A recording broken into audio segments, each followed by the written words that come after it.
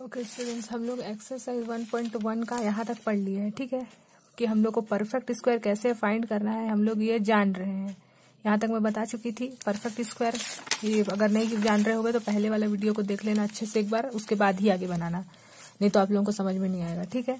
अब हम लोग को देखना है question number two give reason why the given number are not perfect square ये जितना भी नंबर ये परफेक्ट स्क्वायर नहीं है, लेकिन क्यों नहीं है, ये रीजन पूछ रहा है, ठीक है? तो देखते हैं।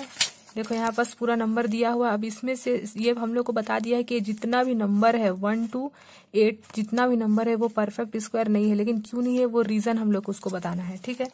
तो देखो, यहाँ पास twelve thousand, a perfect square never had odd number of zero. देखो, आप लोग कभी भी देखना कि अगर ऑड नंबर ज़ीरो है मतलब ज़ीरो कितने टाइम्स है? थ्री टाइम्स है। तो थ्री ऑड नंबर होता है। अगर मान लो फोर टाइम्स होता तो वो इवन हो जाता। तो ये क्या बोलते हैं, आप लोगों का परफेक्ट स्क्वायर होता है, लेकिन यहाँ पास थ्री टाइम्स ज़ीरो है।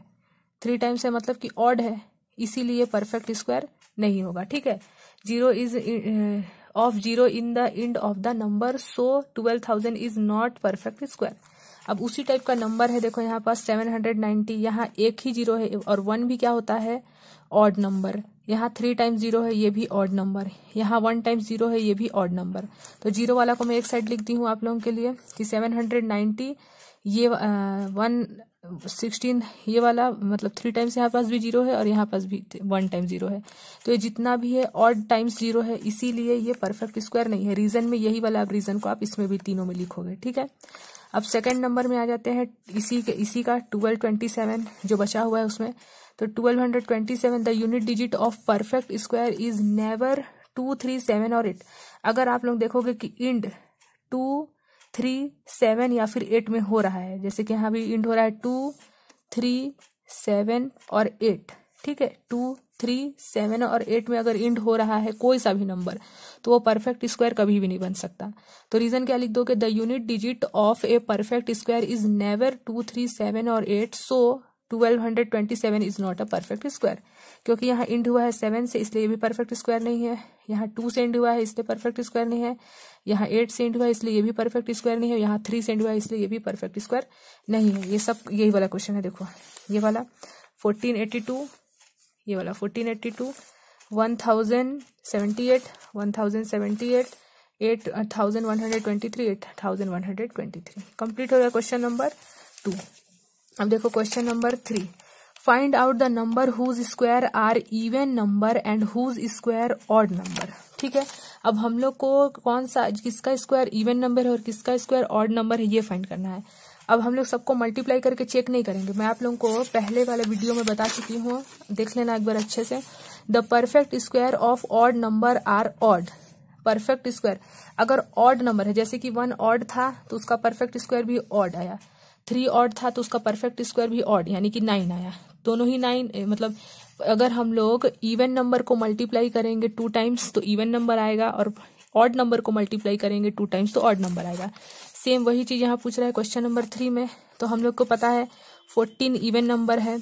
जिसका पेयर बनता है वो क्या होता है? इवन नंबर जिसको हम लोग टू से कम्प्लीटली डिवाइड कर ले, वो क्या है? इवन नंबर तो फोर्टीन इवन नंबर है six hundred eight even number है eleven thousand two hundred eighty eight even number है four thousand ten even number है।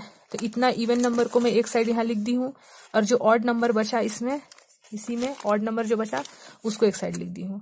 ठीक है? अब उसमें आप लोग रीजन में लिख दोगे यहाँ पास। रीजन में क्या लिखोगे? We know that the square of even number are always even हम लोग को पता है कि जो इवन नंबर होता है वो हमेशा इवन आप लोग चाहो तो 14 को 14 से मल्टीप्लाई करके चेक कर सकते हो। 14 को 14 से मल्टीप्लाई करोगे तो 196 आएगा। और 196 भी क्या है? इवन नंबर है। समझ गए?